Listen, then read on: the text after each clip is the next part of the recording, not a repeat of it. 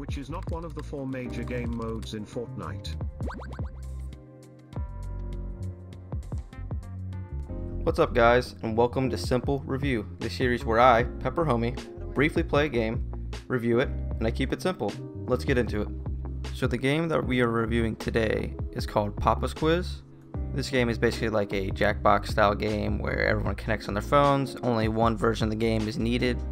Once everyone's connected, you start the game, and the, the, basically the whole game is just a trivia game from the few games that we did play with me and my friends, uh, we got My Little Pony and Fortnite.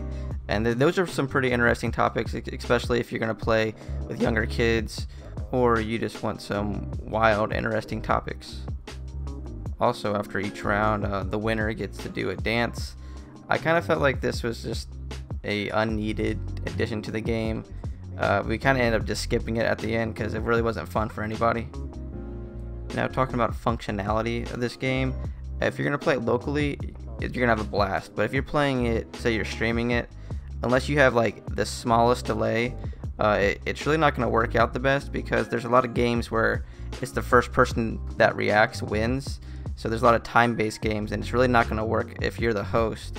But if you're letting everybody else play, then it's probably gonna work. But uh, you know the host is always gonna have the advantage if they're streaming the game. So overall, as a trivia game, I'd give it a 9 pepperonis out of 10. It's a very solid game and it makes the trivia game more interesting than just a straightforward bland trivia game. Uh, but that, that's a local rating for that. If you're streaming it, it's probably a 7 out of 10 just because the host has the advantage. Again, you would probably have to let everyone else play and just the host just sets up the game for everybody. That's like the only way it could work.